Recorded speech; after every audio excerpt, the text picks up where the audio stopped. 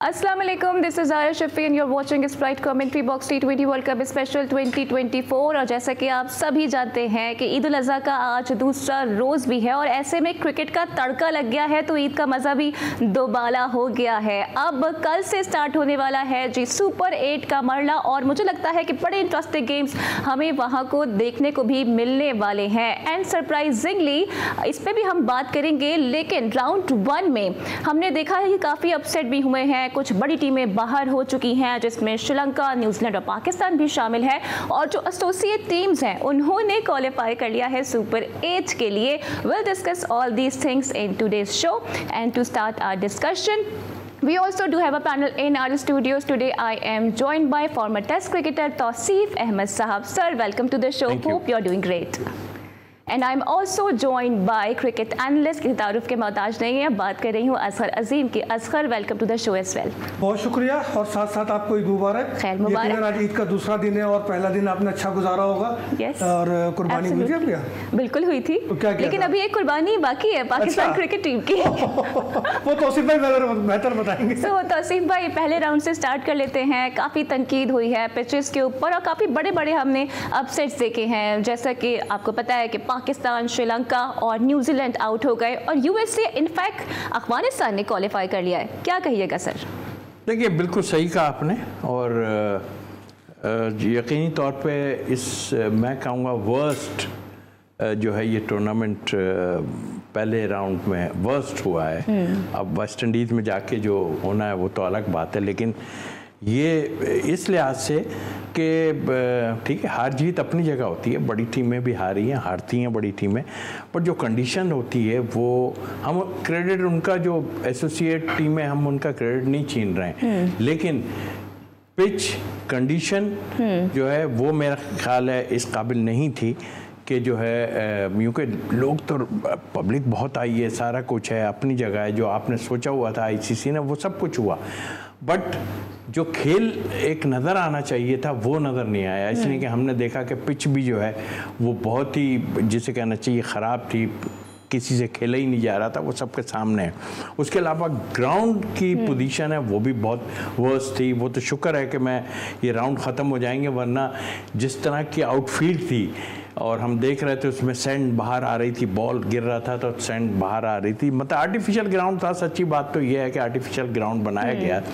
तो उस लिहाज से मैं समझता हूँ कि जो है वो कोई अनफिट नहीं हुआ ये एक बहुत बड़ी बात है वरना मुझे ये डर था कोई की प्लेयर अगर अनफिट हो जाता है तो बड़ा बड़ी मुश्किलात आएँगी।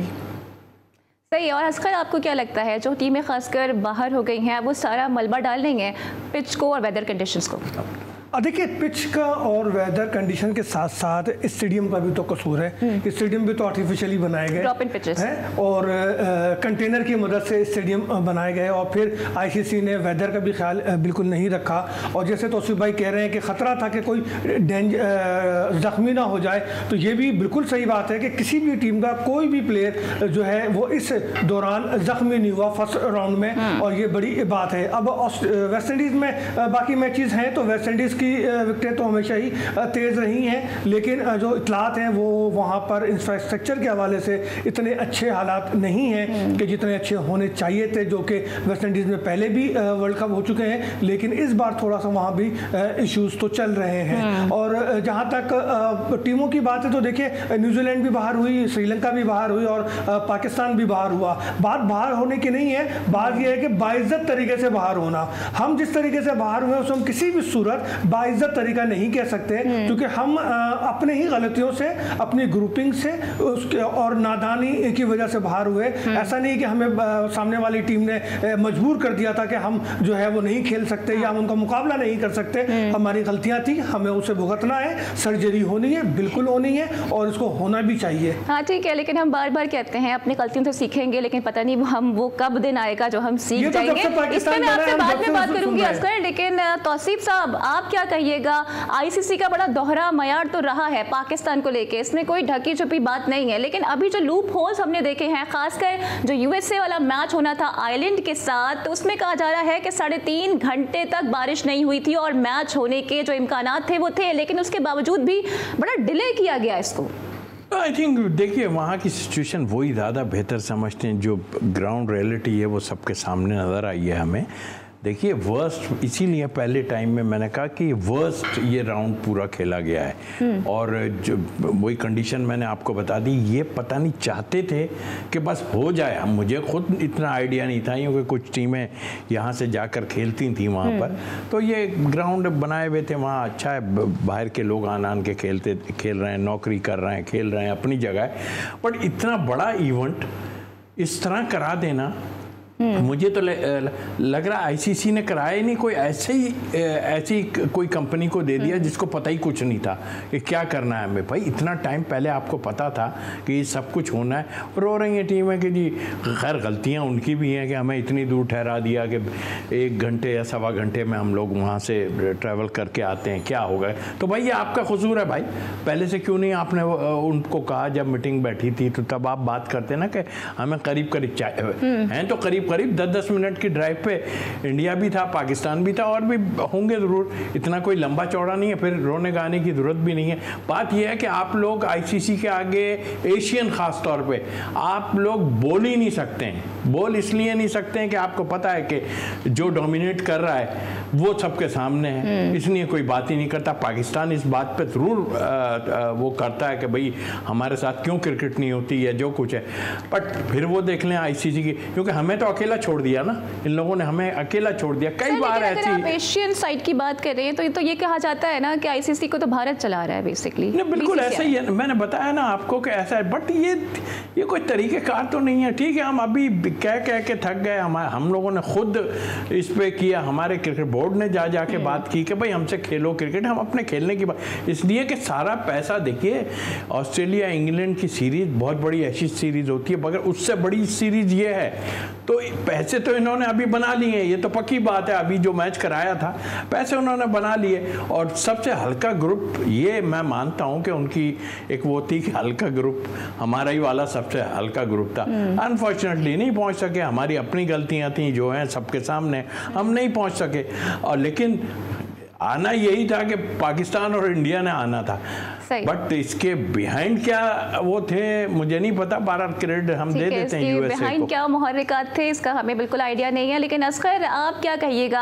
आईसीसी के जो मैार रहा है खासकर पाकिस्तान को लेकर माजी में बड़ी तनकीद उस पर होती रही है। अभी हमने देखा था कि भारत ने अपनी टीम वहाँ भेजी थी उन्होंने सारी इंस्पेक्शन की तो क्या पीसीबी ये नहीं कर सकता था? और वेदर फोरकास्ट अगर ऐसे थे जैसे पाकिस्तान का मैच वॉश आउट हुआ तो क्या आईसीसी से पीसीबी बात नहीं कर सकता था इस हवाले से?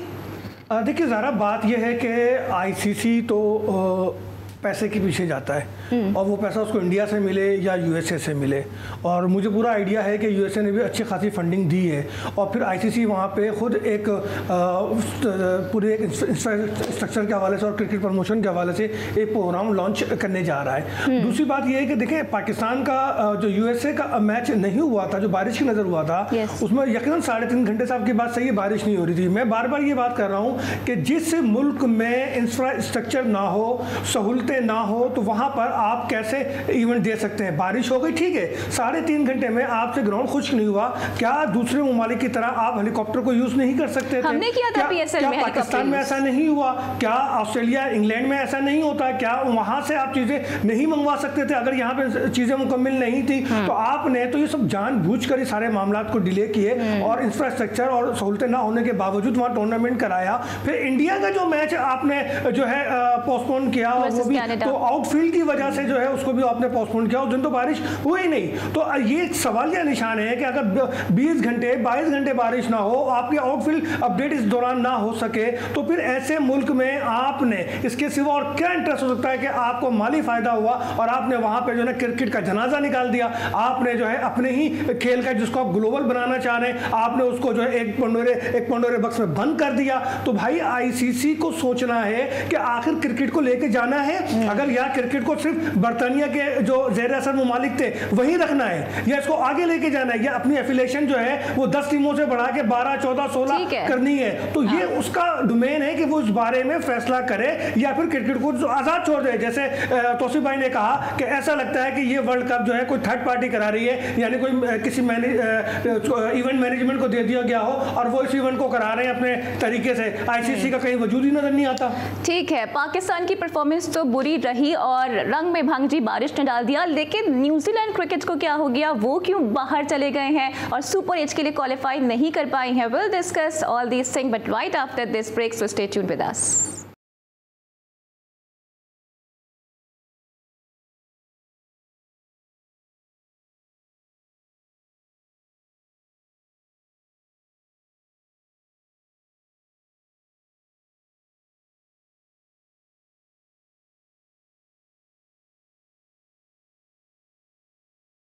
welcome back to Sprite commentary box T twenty world cup special 2024 और ब्रेक से पहले हम यही बात कर रहे थे कि पाकिस्तान की परफॉर्मेंस तो पुअर रही है, इसमें कोई दो राय नहीं है, लेकिन न्यूजीलैंड जैसी टीम भी इस टूर्नामेंट में आगे परस्यू नहीं कर पाई है। तौसीफ साहब, क्या समझते हैं न्यूजीलैंड कहाँ लैग कर गया? क्या आईपीएल की वजह से वो भी लथार्जिक हो गए? नहीं, ऐसा नहीं है मेरे हिसाब से। देखिए, अभी पाकिस्तान में उन्होंने जो एक सीरीज़ के लिए भेजी थी टीम उसमें नए लड़के जो उनके सेकंड स्ट्रेंथ ही कहूँगा मैं इसलिए कि इतना बड़ा मुल्क नहीं है उसमें जितने लोग हैं मैं खुद वहाँ गया हूँ और देखा है मैंने कि अंडर 19 लेवल पे क्रिकेट लेकिन स्ट्रक्चर है उनके पास सारा कुछ है। तो उन्होंने बेस्ट पॉसिबल लड़के पाकिस्तान भेजे थे तो वो अच्छा खेले हम्म। इस फॉर्मेट में। लेकिन यहाँ बिल्कुल ठीक है कि वे बाकी आईपीएल खेलने गए हुए थे छः सात प्लेयर्स उनके। तो ज़ाहिर है कि वहाँ की कंडीशन और एक डेढ़ महीने का मेरा ख्याल था दो महीने का वहाँ पर जो इवेंट आईपीएल होता है। तो वहाँ पे पिचेस का एक डिफरेंट मैार था। बट आई थिंक मेरा ख्याल वो भी इसी में सफ़र ज़्यादा किया है उन्होंने कि वो पिचेस का थोड़ा सा प्रॉब्लम हम्म। और ये सब जो है उनको भी मेरा ख्याल है ले डूबा इसमें। बट ख़राब क्रिकेट उन्होंने भी खेली। ज़ाहिर है मैचेस में ऐसी टीमों से वो हार गए और इतना क्लोज चले गए कि वो जो मेरा ख्याल है उनका संभलना मुश्किल हो गया। तो बड़ी टीमें इसमें बाहर हुई हैं। ठीक है, असकर क्या लगता है? क्योंकि न्यूजीलैंड का जो मीडिया है, वो सारा मलबा आईपीएल पर ही डाल रहा है। देखिए न्यूजीलैंड का मीडिया मुझे आ, है कि वो आईपीएल पे डाल रहा है और न्यूजीलैंड की बोर्ड को भी सोचना चाहिए था कि जब इतना बड़ा इवेंट सर पे आ रहा है तो कुछ वक्त पहले खिलाड़ियों को वहाँ से विड्रॉ करके अपने डोमेस्टिक में ले आते हैं। वहाँ पे कोई कैम्प लगाकर उनकी जो है ट्रेनिंग करते हैं उनको एक मौका देते हैं कि वो अपनी न्यूजीलैंड की देखें अपनी विकटें भी तेज़ हैं। वो ऐसा नहीं है कि वहाँ भी बॉल स्विंग होता है और वहाँ पर अगर वो प्रैक्टिस करते कुछ ऐसे वहाँ पर एक टीम बनकर अपना कैम्प लगाते तो उसका असर इस इवेंट पर ज़रूर होता। लेकिन हुआ ये कि आईपीएल के ख़त्म होते ही लड़के बरह रास्त जो है वो न्यूजीलैंड के लिए पहुँचे। तैयारी का इस इवेंट के लिए मौका नहीं मिला आपस में कोई ट्रेनिंग नहीं हुई, कोई सेशन नहीं हुआ।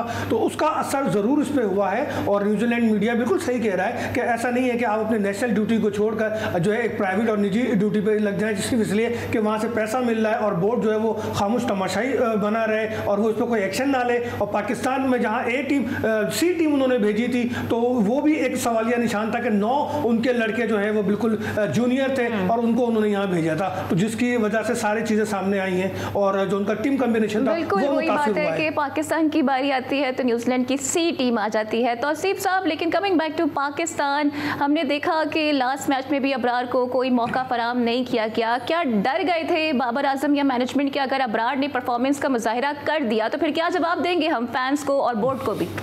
देखिए, इसमें दो दो प्लेयर्स नहीं खेले, बाकी तो सब खेले हैं और जो प्रॉब्लम्स आई हैं, सबको पता है बार बार इतना कुछ हो चुका है कि अब उन चीज़ों को बार बार दोहराना है। अब जो सब कर, खेल गए। अब्बास को भी लास्ट मैच में मौका दे दिया गया। जी अब अब जो करना है वो पीसीबी करे बताए जो है सिचुएशन को हैंडल करे और क्या क्या कोताहियाँ हुई हैं वो उसको देखे सारा।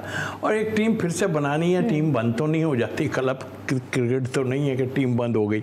मेरा ख्याल है देखिए जो कुछ हो गया और जहाँ तक आपने इन दोनों इस प्लेयर की बात की मैं खुद हैरान था मैं सोच रहा था शायद कोई इंजरी है इसको हम्म। तो वो शायद बाद में ठीक हो जाएगी लेकिन वो इस जगह तक पहुँच गई कि हमें तो पता चला कि जी ये फिट है फिर क्या वजूहत है? उसमें ज़ाहिर है कि नज़र जो आई चीज़ के शादाब परफॉर्म नहीं कर रहे थे लेकिन उनको खिलाया भी जा रहा था साथ। तो आई थिंक ये ज़्यादती की गई है। आप अगर उन लोगों उन दोनों को ही बल्कि मैं तो जो है आफरीदी जो है पेसर जो है जी जी। तो वो उनको भी अगर करते हैं सक्सेसफुल रहता है इन पिचों पे वो भी सक्सेसफुल रहता है। थोड़ा जो है वो वेरेंट बॉलिंग ऐसी करता है कि स्लोअर वन और ये सब उसमें लेकिन वो एक था कि भाई यही खेलेंगे हमारे यहाँ प्रॉब्लम ये थी कि यही खेलना है। सर अलमिया तो ये है लेकिन हम पे कर रहे हैं। क्या? ऑपरेशन क्लीन अप करें या सर्जरी करें? नहीं क्लीन अप क्या करेंगे? आप मुझे बताइए क्लीन अप वहाँ होता है जहाँ बैकअप में कुछ लोग बैठे होते हैं? कि छः आठ लड़के ऐसे आप आठ लड़के निकाल दें। जैसे कि हो रहा है कि चार पाँच छः हम्म। लड़के आप निकाल दें आप बिल्कुल खाली हो जाएँगे। देखिए इंटरनेशनल क्रिकेट जो है ना वो आसान क्रिकेट नहीं है ठीक है? हम्म। हमारे डोमेस्टिक में लड़के हैं, लेकिन हमने भेजे भी थे अभी जो न्यूजीलैंड और ऑस्ट्रेलिया गए थे तो उसमें लड़के गए लेकिन प्लेयर्स का उस लेवल पे एडजस्ट करना बहुत मुश्किल है। गो के न्यूजीलैंड की कंडीशन बहुत ख़राब थी। हमें खुद पता था कि उस वक्त तो हम साथ थे ना कि भाई यहाँ पे इनका इनके साथ हम ज़्यादती तो नहीं कह रहे। चलो हमने भेज दी लेकिन वो वहाँ परफॉर्मेंस नहीं कर सके वो।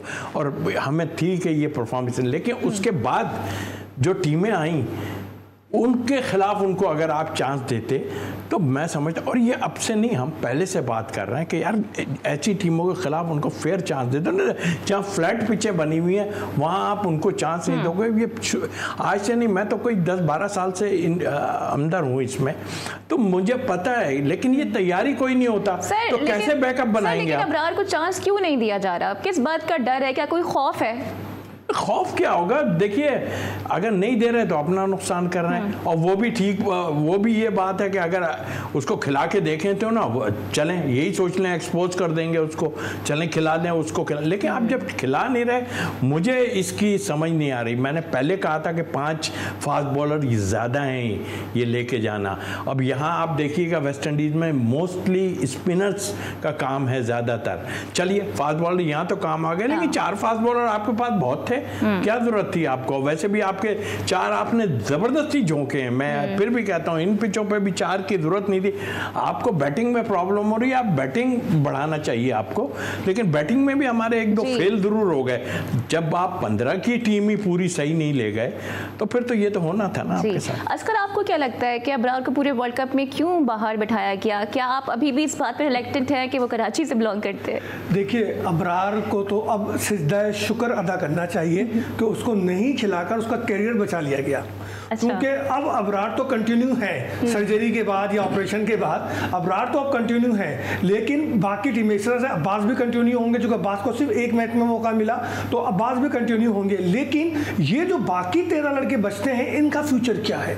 अब देखिए दौरे हाजिर में हमारे पास आ, कोई बड़े प्लेयर तो नहीं आए। एक हमारे पास सरफराज आया एक हम्म। बाबर आज़म आया रिजवान आया और शाहिन शाह आफरीदी आया। ये वो प्लेयर है जिसको दुनिया ने तस्लीम किया हम्म। कि हाँ ये पाकिस्तान के प्रोडक्ट है। लेकिन हमने अपनी पॉलिसियों से इन चारों को ज़ाया कर दिया। हम्म। हमने इनको वो सरफराज को पसंद नापसंद का निशाना बनाया। इमरान खान साहब की मुदाखलत तो बेचारे को फारिग होना पड़ा। बाबर आज़म और रिजवान की जोड़ी को हमने सियासत की नज़र किया और वो सियासत कैसे हुई? जब हमने बाबर को कप्तानी से हटाकर शाहीन को लाए और फिर शाहीन को हटाकर हम बाबर को लाए। हम्म। इस दौरान हो गई ग्रुपिंग। ऐसा दुनिया में नहीं होता। हमने अपनी नासमझी या ये समझ लें कि हम अपनी ही टीम के लिए नादान दोस्त साबित हुए। हम्म। और उस नादान दोस्ती का जो रिज़ल्ट सामने आया कि वो ग्रुपिंग की शक्ल में हम तबाह बर्बाद हो गए। हम्म। हमारे पास अब ये चांस ही नहीं रहा। ऐसा तो नहीं है कि हम पहली बार जो है फ़र्स्ट राउंड में बाहर हुए हैं। हम तीसरी बार फ़र्स्ट राउंड में टी ट्वेंटी में बाहर हुए हैं। लेकिन अलमिया ये है कि जिस जिल्लत और रसवाई के साथ बाहर हुए हैं जिस ग्रुपिंग के साथ बाहर हुए हैं हाँ। वो माजी में उसकी कोई मिसाल नहीं मिलती। तो अब टीम को बनाना है। टीम को बनाने के लिए मैं बार बार कह रहा हूँ फिर कह रहा हूँ कि एक ही लड़का है जो टीम को मुतहद कर सकता है। है आप उसका इस्तेमाल करें। मैं ये नहीं कह रहा कि आप बहुत बड़ी उसकी खदमात का एतराफ़ कर ले वो तो आपने मर के भी नहीं करना।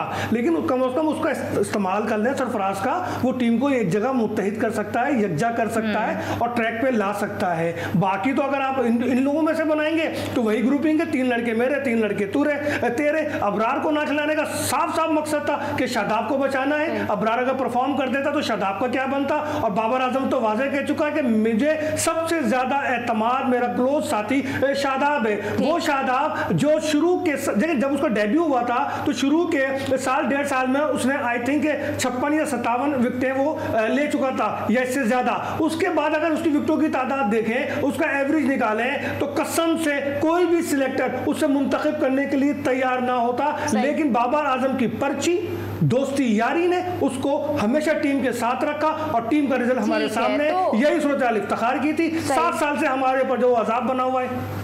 देखिए तो तौसीफ भाई आप अग्री करते हैं कि सरफराज का कम होना चाहिए? देखिए कम तो हर किसी का हो सकता है मैं हम्म। ये नहीं कहता लेकिन अगर करना चाहें तो हो सकता है। ऐसा नहीं है आपने बहुत से ऐसे प्लेयर देखे जो बाय अव्वल तो बैकअप में हमारे थे ही नहीं हम किसकी बात करें कि उसको हाँ सरफराज के साथ उस वक्त ज्यादती की गई जब टी ट्वेंटी में उसको किसी सूरत में वो बाहर नहीं होता था। ये तो पक्की बात। लेकिन जो कुछ इनसाइड हुआ अब इनसाइड बातें अगर कुछ करने लगो तो अब लोग नाराज़ होना शुरू हो जाते हैं। भाई इसकी बात मैं एक एक मशवरा दूँगा और वो मशवरा ऐसा नहीं मैं मुल्क के लिए कर रहा हूँ कि मैं अभी नहीं हूँ बाहर मैंने बहुत सब कुछ देख लिया जितना कुछ था।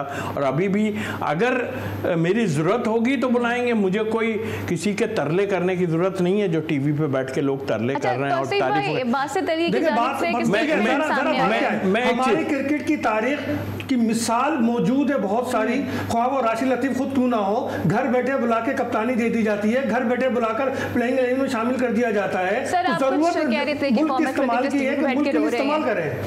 आप कुछ कह रहे थे कि फॉर्मर क्रिकेटर नहीं फॉर्मर क्रिकेटर देखिए फॉर्मर क्रिकेटर अपने अपनी दुकान लगा के बैठे हैं कुछ सही बात कर रहे हैं कुछ ज़बरदस्ती की बातें कर रहे हैं। हम्म। मैं उस पर अभी बहुत टाइम है इसमें करने का और जो वो अपने टाइम में क्या क्या कर चुके हैं वो सब पता और मुझसे ज़्यादा तो पता होगा नहीं मैं तो हूँ लेकिन मैं लोग यही सोचते थे कि ये आदमी बोल क्यों रहा है? अब लेकिन हम्म। मैंने एक टाइम से जब शुरू किया थोड़ा ये बात करनी तो मुझ पर यह इल्ज़ाम आने लगा कि अंदर की बातें क्यों करते हो? मैंने कहा अंदर की नहीं है ये तो फैक्ट है। अगर कराची का सिलेक्टर मैं बना हुआ हूँ या कोई और जवाब नहीं देता जब टीम सेलेक्ट होती है मीडिया वाला आन के जब बात करता है तो खामोश मैं तो खामोश नहीं हो सकता। हम्म। वजह बताऊँगा कि ये वजह है मैं इसलिए नहीं हुआ।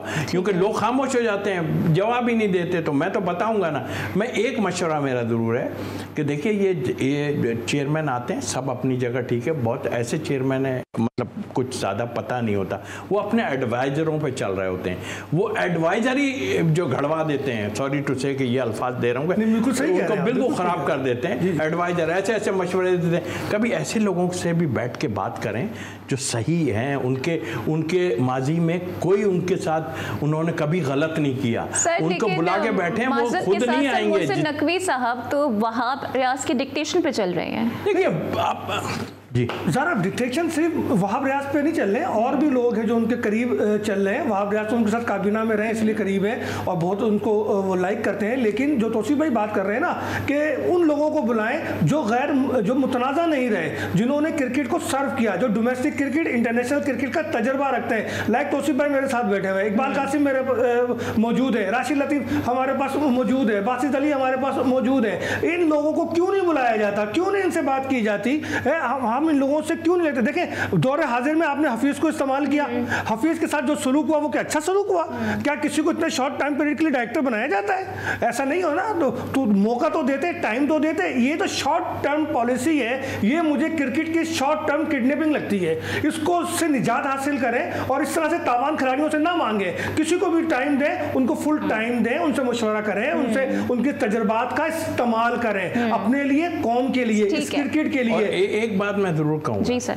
रिक्वेस्ट है जो भी टॉप लेवल के होते हैं कि भाई प्लेयर जो हैं खुदा के वास्ते सही मशवरा दिया करो जाके। जब आप अंदर हम्म। जाते हो तो सही मशवरा दिया करो। अभी अभी आदमी आया है उसको जाके आप मशवरा दे रहे हो कि टीम में जो है वो कुछ गड़बड़ है।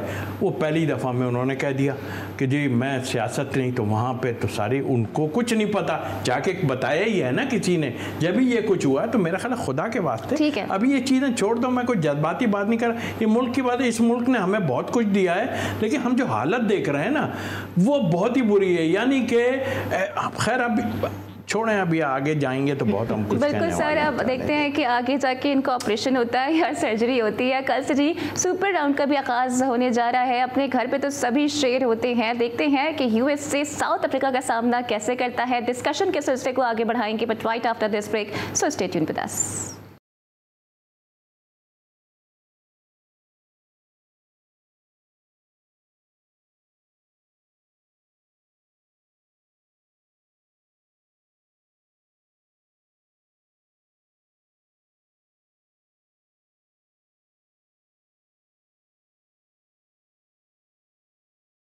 welcome back to Sprite commentary box T twenty world cup special 2024 और जनाब कल से शुरू हो रहा है सुपर एट राउंड जहाँ पर पहली टीम यानी कि यूएसए और साउथ अफ्रीका मध्य मुकाबिल होंगे and I am sure it will be interesting game of cricket as well तो एक्सपर्ट ओपिनियन जान लेते हैं कि कौन सी टीम अब तक इस मैच में फेवरेट नज़र आ रही है। तौसीफ अहमद साहब, कैसे रेट करेंगे यूएसए की परफॉर्मेंस को, खासकर इन अमेरिकन विकेट्स देखिए यूएसए का जहाँ तक ताल्लुक है बहुत अच्छी बहुत अच्छी बात है। एसोसिएट टीम आई है जैसे भी आ गई खेल के आई है ठीक है हमें सामने नज़र आ रहा है।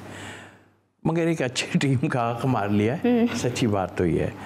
अब जब ये सब हो सकता है ठीक है वो अच्छा खेल के आ उड़ गए बट मैं समझता हूँ कि वो इतना अच्छा नहीं रहेगा हाँ उनका सेकंड राउंड इसलिए कि ये एक डिफरेंट होगा। हाँ।, हाँ अगर कोई ऐसे हालात हुए जो कि हमें पता भी नहीं चल रहे हैं तो वो अगर हालात हुए जो कि अमेरिका है तो फिर वो हम उसका कुछ नहीं कह सकते सच्ची बात है। लेकिन जो वो टीम ने जो है ठीक है वो बेचारे और कई हैं आयरलैंड और दूसरी टीमें जो इन सब बेचारे जॉब करने वाले लोग हैं वहाँ जॉब हम्म। करते हैं उनको छुट्टियाँ भी नहीं मिलती सब कुछ और ये सारे सब बाहर से आन के खे, खेल रहे हैं। लोकल में तो इतना उनके पास किसी के पास भी कुछ नहीं। ये यूएई के अंदर है। इनकी मेहनत है अपनी जगह अपना शौक है। कुछ प्लेयर बड़े अच्छे भी नज़र आए हम इसमें। बट आई थिंक मेरा ख्याल सही अगर एटमॉस्फेयर होता सही सब कुछ होता जिसका हम ज़िक्र कर भी चुके हैं तो ये क्वालिफाई नहीं करनी थी टीम ये तो हम्म। पक्की बात है। ठीक है हार गए जिस तरह के रन बने हैं हम्म। उसमें कौन कह सकता? अब हाँ एक कल जो मैच हुआ 180 पे करवा दिए ऑस्ट्रेलिया ने। लेकिन 180 का मीन के उन्होंने अपने कोई ए, कुछ लड़के चेंज करके खिलाए डेफिनेटली और फिर लास्ट ओवर में जाके जो है ऑस्ट्रेलिया ने उसको चेस किया। तो उस लिहाज से ये सुपर एट में टीमें ग्रुप तो तगड़ा है बट यूएसए का अंदर आना हम्म। ज़ाहिर है कि किसी भी टीम को जो है बहुत ज़्यादा फ़ायदा दे आप कैसे रेट करेंगे यूएसए की परफॉर्मेंस को? और ख़ास कर जैसे कि साउथ अफ्रीका अभी खेला है और नेपाल और उनका बड़ा सनसनी सनसनीखेज मुकाबला हुआ था। लकली रन आउट हो गया वरना नेपाल ने ये मैच जीत जाना था। हाँ बिल्कुल लकी तौर पे साउथ अफ्रीका मैच जीता और एक रन से जीता। इसमें तो कोई दो राय नहीं है। और नेपाल ने जिस तरीके से मुकाबला किया हम्म। मैं समझता हूँ कि उसको क्रेडिट देना चाहिए उस टीम को भी कि एक बेबी टीम होकर उसने इतना ज़बरदस्त मुकाबला किया। लेकिन जो यूएसए की बात है तो जो शतरंज के प्यादे बिछाए गए थे ना उस शतरंज पे खेलते हुए यूएसए ने जाना था आगे अब यूएसए को न्यूयॉर्क की विकेट पे खिलाया गया नासू स्टेडियम की विकेट पे खिलाया गया और यूएसए को उसका तजर्बा था आर्टिफिशियल ग्राउंड आर्टिफिशियल विकेट और सब कुछ आर्टिफिशियल सिस्टम पे चलकर यूएसए ने हम्म। अपने आप को फाइनल एट में दे दिया अब फाइनल एट में आने के बाद यूएसए चूँकि वेस्ट इंडीज़ में खेलना है तो यूएसए की टीम में वेस्ट इंडीज़ के भी ताल्लुक रखने वाले प्लेयर मौजूद हाँ। हैं जिसका बेनिफिट बेनिफिट यूएसए को होगा अगेंस्ट इंग्लैंड तो यूएसए का कड़ा इम्तिहान तो होगा फिर वेस्ट इंडीज में। तो एक और जो इम्पोर्टेंट मैच है ना वो 19 जून को होगा इंडिया वर्सेस अफ़गानिस्तान। अगर लास्ट मैच हम्म। की मैं बात करूँ ना तो वो सुपर ओवर में गया था। तो आप समझते हैं कि Afghanistan is a strong contender against India सिर्फ़ अगेंस्ट इंडिया के ही नहीं मैं आपको बता रहा हूँ कि ये वोट सॉरी बीस को मैच है। जी जो भी जिस तरह का एटमॉस्फेयर वहाँ है जिस तरह की पिचेस वगैरह हैं इस वक्त अफ़गानिस्तान चूँकि अफ़गानिस्तान ने हमारे हारने पे काफ़ी कुछ करते हैं जबकि वो हमारे हमने हमारे पास उन्होंने बड़ा टाइम गुजारा है। खैर उसमें हम जाएँगे तो गलत है। वो अब मेरा ख्याल है थोड़ा ख्याल उनको करना चाहिए। ठीक है हो गया हो गया। मैंने एक दो चीज़ें ऐसी देखी जो बहुत ही ख़राब थी कि पाकिस्तान के लिए उन्होंने किया। ये गलत है। हम्म। आप क्रिकेट को कोई दुश्मनी थोड़ी है किसी से। यार आप आन के खेलते थे पिशावर में खेलते थे इधर खेलते थे कोई ऐसा नहीं। लेकिन हाँ मैं फिर भी आपकी टीम के लिए ये कहूँगा कि मुझे ऐसा फील होता है कि ये ग्रुप से अफ़गानिस्तान कहीं आगे जाने के बहुत चांसेस मुझे नज़र हम्म। आते हैं इसलिए कि इनके पास वो पूरी बैटरी है जो एक और वो फॉर, इसी फॉर्मेट की बैटरी है जिसमें खास तौर पर स्पिनर जी?